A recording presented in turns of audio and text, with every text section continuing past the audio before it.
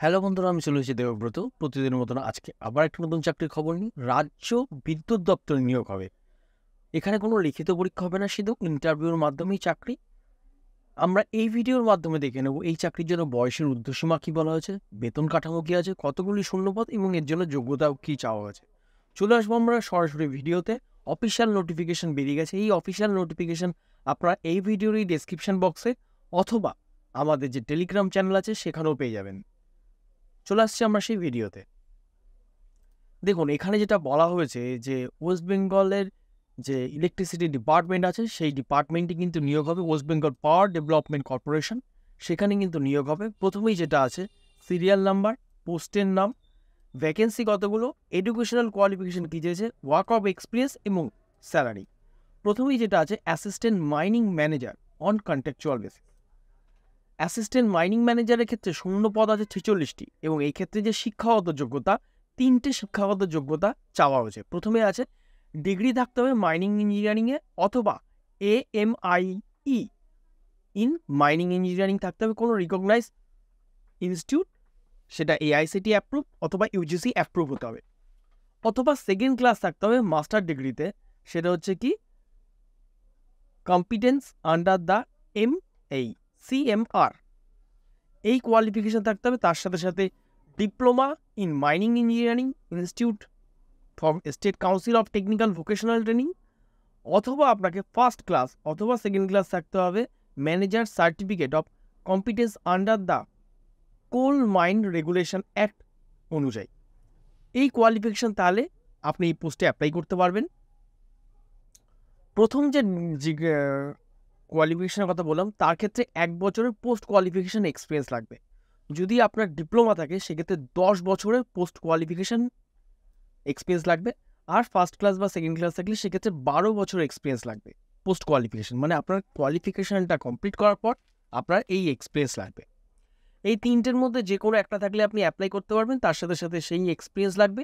এই ক্ষেত্রে যেটা কনসোলিডেট স্যালারি কনসোলিডেট স্যালারি মানে স্যালারিতে আলাদা করে এইচআরএ এম এ ডিএ এইগুলো ভাগাভাগি নেই। মানে এইগুলো আলাদা করে সেপারেশন নেই। ভাগাভাগি মিনস সেপারেশন যেমন ধরুন হাউস রেন্ট অ্যালাউন্স বা ডিয়ারনেস অ্যালাউন্স বা medical allowance travel allowance special allowance এইগুলো আলাদা করে নেই। কনসোলিডেট আছে, যেটা হবে তেষট্টি হাজার টাকা পার মান্থ তারপরে আছে কি? ওয়েলফেয়ার অফিসার সেক্ষেত্রে একটি শূন্যপদ এবং এক্ষেত্রে শিক্ষকতা বলেছে যে আপনাকে গ্র্যাজুয়েট হতে হবে। At least two year full time post graduate degree অথবা পিজি ডিপ্লোমা অথবা post graduate program in management যদি আপনার specialisation human resource industrial relationships personnel management অথবা M master of social work থাকে, তাহলেও আপনি অ্যাপ্লাই করতে পারবেন। এবং এক্ষেত্রে আপনার এক্সপিরিয়েন্স বলছে কোল মাইন বা ইন্ডাস্ট্রিতে কাজের অভিজ্ঞতা থাকলে ভালো হয়। এক্ষেত্রেও স্যালারি আপনার তেষট্টি হাজার টাকা পার মান্থ তারপর হচ্ছে কি সুপারভাইজার সুপারভাইজারের ক্ষেত্রে যেটা গেছে ডিপ্লোমা ইন সার্ভেয়ার পোস্টের নাম সার্ভেয়ার সুপারভাইজার না surveyor diploma in surveyor engineering institute এবং সেটা কিন্তু এআইসিটি অ্যাপ্রুভ হতে হবে। এই ক্ষেত্রে আপনার এক বছরে কাজের অভিজ্ঞতা চেয়েছে। এই ক্ষেত্রে যেটা বলা হয়েছে, যদি আপনার এই সার্ভেয়ারের ডিপ্লোমা থাকে এক বছরের অভিজ্ঞতা থাকে, তাহলে আপনি অ্যাপ্লাই করতে পারবেন, অথবা ডিজিএমএস সার্টিফিকেট সার্ভেয়ারে যদি থাকে, তাহলেও আপনি অ্যাপ্লাই করতে পারবেন। সেক্ষেত্রে আপনার পাঁচ বছর অভিজ্ঞতা চেয়েছে, এবং এই ক্ষেত্রে স্যালারি কিন্তু একচল্লিশ হাজার টাকা। তারপর আসছে কি ওভারম্যান সেক্ষেত্রে শূন্যপদ আছে, আঠেরোটি। সার্ভেয়ারে শূন্যপদ কিন্তু সাতটি। আঠেরোটি শূন্যপদ আছে ওভারম্যানে, সেক্ষেত্রে diploma in mining engineering with valid overman certificate. যদি ডিপ্লোমা ইন মাইনিং ইঞ্জিনিয়ারিং থাকে, তাহলে এক বছরের পোস্ট কোয়ালিফিকেশন অভিজ্ঞতা থাকলে হবে। আর ওভারম্যান সার্টিফিকেট যদি থাকে, সেক্ষেত্রে পাঁচ বছর অভিজ্ঞতা। আর এই ক্ষেত্রে স্যালারি বলা হচ্ছে একচল্লিশ হাজার টাকা। তারপর হচ্ছে কি জুনিয়র ইঞ্জিনিয়ার মেকানিক্যাল। সেক্ষেত্রে দুটি আছে শূন্যপদ, ডিপ্লোমা ইন মেকানিক্যাল ইঞ্জিনিয়ারিংয়ে আপনার যে ডিপ্লোমা থাকে রিকগনাইজ ইনস্টিটিউট মানে এআইসিটি অ্যাপ্রুভ তাহলে আপনি অ্যাপ্লাই করতে পারবেন। এই ক্ষেত্রে পাঁচ বছরে অভিজ্ঞতা চেয়েছে এবং স্যালারি হচ্ছে একচল্লিশ হাজার টাকা। তারপর আছে জুনিয়র ইঞ্জিনিয়ার ইলেকট্রিক্যাল এই ক্ষেত্রে দুটি শূন্যপদ এবং শিক্ষাগত যোগ্যতায় বলা হচ্ছে ডিপ্লোমা থাকতে হবে আপনার ইলেকট্রিক্যাল ইঞ্জিনিয়ারিং এবং সেটা অবশ্যই আপনার এআইসিটি অ্যাপ্রুভ হতে হবে, পাঁচ বছর অভিজ্ঞতা। এই ক্ষেত্রে স্যালারি কিন্তু একচল্লিশ হাজার টাকা। তাহলে এই গেল আমার যে পোস্টের ভ্যাকেন্সি শূন্যপদ, শিক্ষাগত যোগ্যতা এক্সপিরিয়েন্স এবং স্যালারি এবার আমরা দেখব এর আর কি ডিটেলস বলা আছে। এর সাথে ইন অ্যাডিশনস এখানে কি বলেছে? An addition fix house rent এর সাথে সাথে আপনি কি পাবেন? অ্যাসিস্ট্যান্ট ম্যানেজারের তো মায়না কনসুলেট রেমুনেশন তেষট্টি হাজার টাকা, তার সাথে হাউস রেন্ট অ্যালাউন্স আছে আট হাজার নশো আশি টাকা এবং মাইনিং অ্যালাউন্স আছে পাঁচ হাজার টাকা। এটা আপনি, এখানে হচ্ছে অ্যাডিশনাল ফিক্সড তার মানে আপনি ইন অ্যাডিশন এটা আলাদা করে এর সাথে পাবেন। ওয়েলফেয়ার অফিসারের ক্ষেত্রে স্যালারি সেম তারও হাউস রেন্ট অ্যালাউন্স সেম এবং মাইনিং অ্যালাউন্সও সেম অ্যাসিস্ট্যান্ট ম্যানেজারের মতন। সার্ভেয়ারের ক্ষেত্রে একচল্লিশ হাজার টাকা স্যালারি হাউস রেন্ট অ্যালাউন্স হচ্ছে পাঁচ হাজার আটশো নব্বই টাকা এবং মাইনিং অ্যালাউন্স হচ্ছে আটত্রিশশো টাকা। তা ওভারম্যানের ক্ষেত্রে স্যালারি হচ্ছে আপনার একচল্লিশ হাজার টাকা হাউস রেন্ট অ্যালাউন্স হচ্ছে পাঁচ হাজার আটশো নব্বই টাকা এবং মাইনিং অ্যালাউন্স হচ্ছে আটত্রিশ টাকা, আটত্রিশশো টাকা। তারপর হচ্ছে কি junior engineer electrical and mechanical দুজনের ক্ষেত্রে হাউস রেন্ট অ্যালাউন্স হচ্ছে আপনার পাঁচ হাজার আটশো নব্বই টাকা এবং মাইনিং অ্যালাউন্স হচ্ছে আপনার আটত্রিশশো টাকা। তার মানে মোটামুটি আপনার একটা স্যালারি কিন্তু জুনিয়র ইঞ্জিনিয়ারদের দাঁড়াচ্ছে পঞ্চাশ হাজার টাকা। সার্ভেয়ার বা ওভারম্যানের ক্ষেত্রে দাঁড়াচ্ছে ও সেই পঞ্চাশ হাজার টাকার মতন। ওয়েলফেয়ার অফিসারে এটা দাঁড়াচ্ছে প্রায় আপনার বাহাত্তর তিয়াত্তর হাজার টাকা।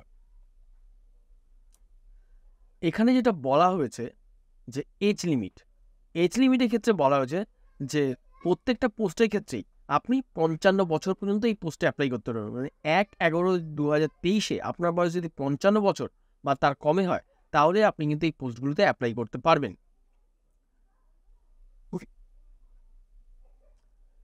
এবার যেটা বলা হচ্ছে অ্যাসিস্ট্যান্ট ম্যানেজার টোটাল তো ছেচল্লিশটা পোস্ট আছে, তার মধ্যে আনরিজার্ভে এসসি এসটি ইকোনমিকা সেকশন সবার জন্য আলাদা করে সংরক্ষণ বলে দিয়েছে। সেইভাবে ওয়েলফেয়ার অফিসারও সার্ভেয়ারও ওভারম্যান সবার আলাদা করে শূন্যপদ বলে দেওয়া হয়েছে। সিলেকশন প্রসিডিউর সিলেকশন প্রসিডিউরে যেটা বলা যায় আপনার ওয়ার্কিং এক্সপিরিয়েন্স দেখবে, কাজের অভিজ্ঞতা এবং এখানে শুধু আপনার কি হবে? ইন্টারভিউ হবে। মানে প্রথমে আপনি অ্যাপ্লিকেশন করবেন, তার মধ্যে শর্ট লিস্টেড হবে এবং শুধু ইন্টারভিউ হবে পার্সোনাল ইন্টারভিউ এর বাইরে কিন্তু কোনো লিখিত পরীক্ষা হবে না। অ্যাপ্লিকেশনটা কীভাবে করবেন? অ্যাপ্লিকেশনটা করবেন অনলাইনে অনলাইনে যে এই ওয়েবসাইট আছে এইখানে যেতে হবে, গিয়ে অ্যাপ্লাই অনলাইন অপশানে ক্লিক করতে হবে, যেখানে আপনাকে আপনাকে যেটা দিতে হবে মেল আইডি বিফোর রেজিস্ট্রেশন বা সাবমিশন অ্যাপ্লিকেশন আপনাকে আপনার mail ID mobile number Aadhaar number এবং স্ক্যান কপি ও রিসেন্ট পাসপোর্ট সাইজ ফটো এগুলো আপলোড করতে হবে। তারপর আপনি আপনার ফুল ডিটেলস দেবেন দেওয়ার পর কিন্তু আপনি অ্যাপ্লাই করবেন। গ্রেড পয়েন্ট যেটা আছে, এখানে বলে দেওয়া আছে, সেটা আপনি সেই আন্দাজে কিন্তু আপনি অ্যাপ্লাই করতে পারবেন। Candidate can access the online সেটা কি বলা হয়েছে, চার বারো দু থেকে। জাস্ট শুরু হয়েছে, এটা পঁচিশ বারো পর্যন্ত চলবে তার মধ্যে আপনাকে অনলাইনে ফর্ম ফিল আপ করতে হবে। এরপর দিয়ে জেনারেল ইনস্ট্রাকশন যদি আপনি ইনকমপ্লিট অ্যাপ্লিকেশন করেন অথবা ভুলভাল করেন, তাহলে আপনার অ্যাপ্লিকেশন ক্যান্সেল হবে। আপনাকে যা ডকুমেন্টস চাওয়া আছে সেগুলো আপনি অবশ্যই দেবেন। যদি না দেন, তাহলে আপনার ইয়ে অ্যাপ্লিকেশন ক্যান্সেল হয়ে যাবে এবং আপনাকে উইদিন টাইমে কিন্তু ইন্টারভিউতে আসতে হবে। কী কী ডকুমেন্টস নিয়ে আসবেন আপনি যখন আসবেন? Duly sign filled up application blank format সেটা নিয়ে আসবেন। Two copy passport size photo original educational এবং এক্সপিরিয়েন্স টেস্টিমোনাস মানে অরিজিনাল যে সার্টিফিকেট রেজাল্ট সেগুলো এবং তার এক্সপিরিয়েন্সগুলো সেলফ অ্যাটাস্টেড ফটোকপি লাগবে ডেট অফ বার্থের কোয়ালিফিকেশান ডিগ্রি মানে যে আপনার একাডেমিক কোয়ালিফিকেশান আছে। কপি অফ যদি কাস্ট সার্টিফিকেট থাকলে সেইটি ডিসেবিলিটি সার্টিফিকেট থাকলে সেটি এক্সপিরিয়েন্স সার্টিফিকেট এবং আধার কার্ড এই সমস্ত কিছু নিয়ে আপনি আসবেন। Specimen copy experience experience experience copy আপনি এটা ফিল আপ করে আনতে পারবেন। এবং এছাড়াও যেটা আপনার অ্যাপ্লিকেশন ফরম্যাট সব এখানেই আছে। এই ছিল টোটাল ভিডিওটা। যদি ভিডিওটা আপনাদের ভালো লেগে থাকে, তাহলে অবশ্যই লাইক কমেন্ট শেয়ার করবেন এবং চ্যানেলে নতুন হয়ে থাকলে চ্যানেলটাকে সাবস্ক্রাইব করে পাশে থাকা বেল আইকন প্রেস করে রাখুন সমস্ত ভিডিওর জন্য। কারণ আমরা এখানে প্রতিদিন নতুন নতুন চাকরির খবর নিয়ে আসি এবং সেই সমস্ত চাকরির খবরের সাথে তার পুরো সম্পূর্ণ পিডিএফ এবং এছাড়াও কর্মসংস্থান, কর্মক্ষেত্র, যে যে পেপার বেরোয়, তার সমস্ত কিছু কিন্তু আমাদের YouTube channel Telegram channel WhatsApp চ্যানেলে পেয়ে যাবেন। তো এই সমস্ত কিছু পেতে অবশ্যই চ্যানেলটাকে সাবস্ক্রাইব করতে হবে thank you was this video